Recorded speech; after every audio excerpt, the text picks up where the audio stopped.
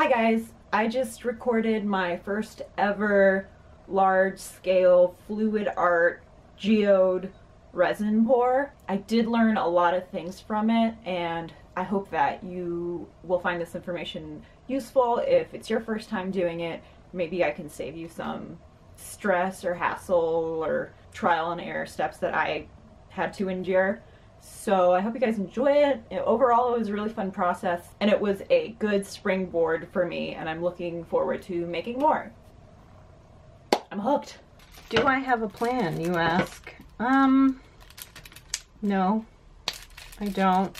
I probably should. I'm thinking kind of clear on the inside and then I should have a plan, shouldn't I? Okay, so from looking at like actual resin geode tables, I can see that usually in the center they go more translucent and around the sides they go opaque. More around the center I see like rocks and then maybe some like drops kind of peppering into the translucent part. Um, but that is from like a recreation of a geode. Uh, I'm going to look at an actual picture of a geode and see if I can get any inspiration from that. So this is a actual geode. It is a dyed geode. Um, I can see that there are like varied alternate layers of opaque, clear, opaque, clear. Um, that might be kind of tricky for me to do right now, so I'm just going to start out with just the opaque into clear middle and see how that goes. So I have a bit of a plan now, um, thank God. Uh, I found these kind of, what's the word, iridescent bead type things um, that I'm going to put around in the center. I have, I don't, I want to go for a purple vibe, but I don't have purple alcohol ink, so I'm hoping that this red and this blue. Oh my god. Shit just fell over. At this point, what I can only describe as a poltergeist has knocked over a giant organizer of beads onto my floor. This poltergeist has cursed the alcohol ink, thus making my purple not purple. I'm not saying that this is what actually happened. I just think this is what actually happened. Cool. Anyways, hoping that will make a purple along with this white opaque dye, which will make it opaque because these alone will just turn the resin translucent. And I also have some iridescent powder here to add some kind of shimmer and some gold flake that will add some interest as well.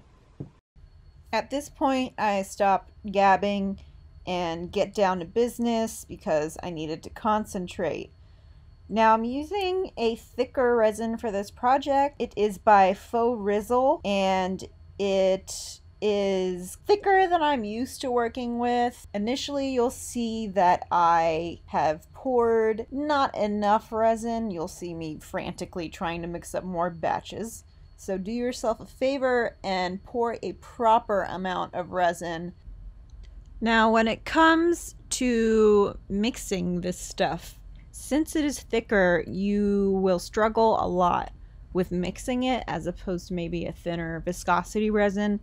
And it is very, very, very important that you mix it as much as you can and they actually do recommend that you pour it from one cup into another and mix it again because the two different parts can get stuck to the side. Because I was so frantically mixing more resin because I wasn't prepared, you can see little tiny like web-like structures, I want to say, in the resin. They're not like super noticeable. It just annoys me. It irks me. It's not like perfectly crystal clear, but it definitely you can't notice from far away. Just a heads up when it comes to mixing this resin. Here I'm going to add some texture to my piece. I'm using these piece this so funny story. I bought moonstone chips from Wish, which was my first mistake Um, these are not moonstone. They are glass beads with a iridescent coating. So, I mean, it's my own fault, but uh, I am using them here, which is good. And right now I am obsessively arranging them because that's how I am. Right now I'm mixing up some opaque white, which I will be using for banding and also as a base for my opaque ring around the geode. At this point, you will witness the curse unfold with your very eyeballs. As you can see, the red looks fine, and then I add in the blue, and the blue looks great. But once I start mixing, the red just turns to nothing, like maybe black, I think. It's just perplexing. And at this point, I am questioning my very knowledge of primary colors and color theory, and I'm like, wait, blue and red do make purple, right? Like, and with white, that should be light purple. So I'm adding in more red and realizing that it's just simply not working. So, as a last ditch effort, I just squeeze in so much blue into there to make it blue. At a certain point, I am satisfied with the color I was able to achieve and continue with my adventure. I'm mixing up some of my favorite iridescent pigments from Faux It is called, I forgot, I'll put the name in later, but it's really cool. I was expecting to use it with a purple, so it didn't come out quite as I wanted with the blue, but it turned out fine. I'm also mixing up a just a plain white for the banding. Um, later on, I realized that I didn't want like a stark white and I think for my next pour I'm going to add a little tint to tone down the contrast.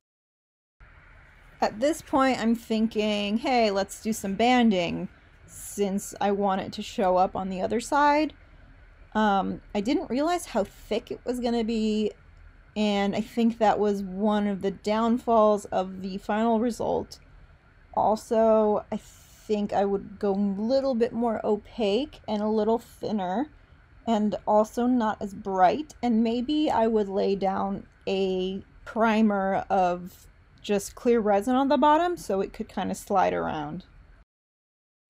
I'm also adding in my iridescent pink color into the inner ring and also starting to fill in that center of the geode with some clear resin.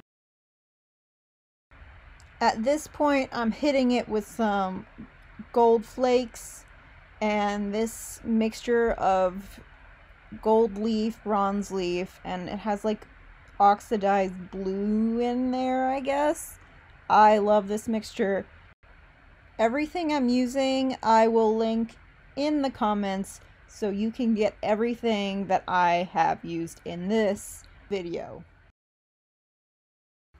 And here I'm just uh, trying to mix up a more translucent blue and for some reason damn okay like i didn't learn my lesson and i'm just like hey i'm just gonna throw some freaking red in there and see what happens and to be fair i did get a color similar to my opaque color so we you know it was fine And lastly, I fill in the edges with my opaque teal. After that, I'm sort of trying to fill up the volume with more resin just because I hadn't realized how much resin. Of course, it's like six coasters, but I wasn't thinking clearly. And I'm used to making very small items. And bam, right there.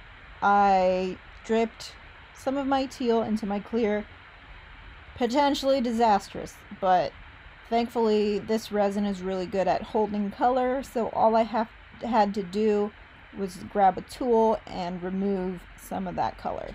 So don't panic, things can be fixed. If not, it's all about creating a solution to the problem you just made.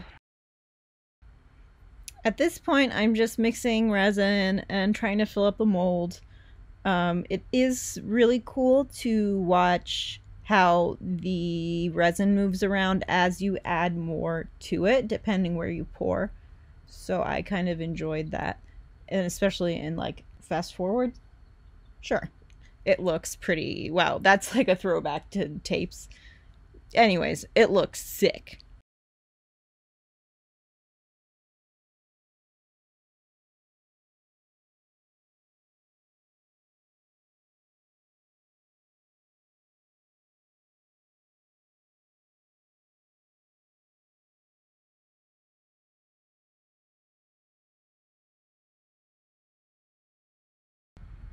So from my frantic mixing, I did whip up a whole lot of bubbles into the resin.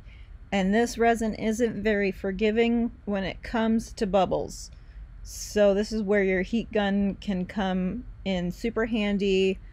I did set it on low, um, and it did work really well for popping those surface bubbles, but I did end up getting a lot of bubbles in the actual resin itself.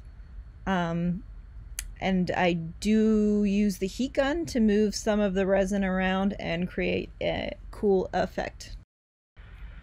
At this point, let's be honest, I could have stopped, could have walked away, it would have been fine, but you know what, this is like my test piece.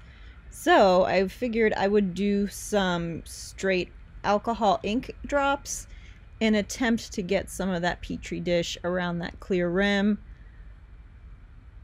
and you can also see me working the heat gun and moving some of those drops around.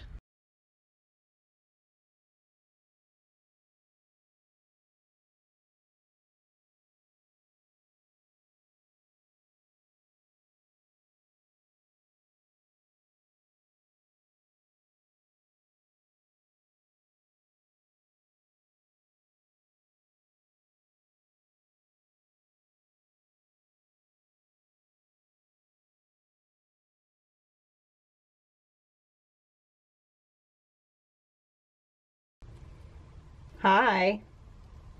It's time, y'all. I'm so excited. I am like sweating. I have been at work all day just thinking about this, wanting to demold it and see what's on the other side. And to be honest, I did way too much to it, so I hope it's not ruined. If it does look bad on the other side, at least this side looks kind of cool. I'm going to start Okay, so far so good.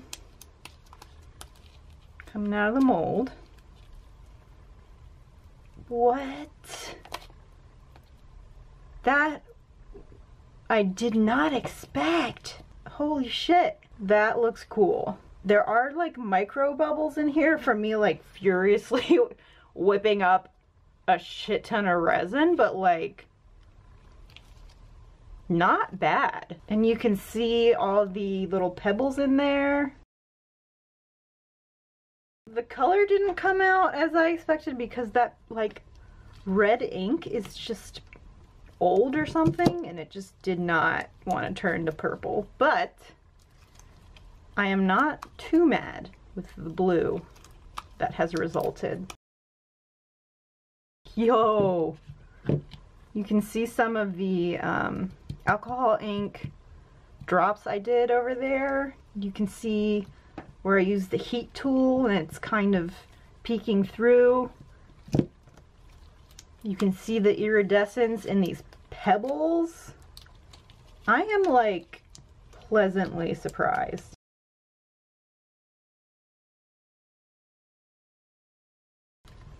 That's where I was like, Some things that I think I'm going to change for next time is not use pure white. I think that contrast is too extreme. I'm going to buy fresh alcohol inks so the color actually works. I'm going to mix up more resin and maybe not mess around with it as much. This effect is cool. It looks like cracked geode stuff, if that makes any sense. But yeah, not bad. And you can see the clear layer here. I just wish it was more consistent, but overall, pretty happy with the result. What do you guys think? Let me know in the comments if you have any suggestions, any ideas. I would love to hear them. Thank you for keeping me company through this crazy process. Thanks so much for watching, and I'll see you on the next video.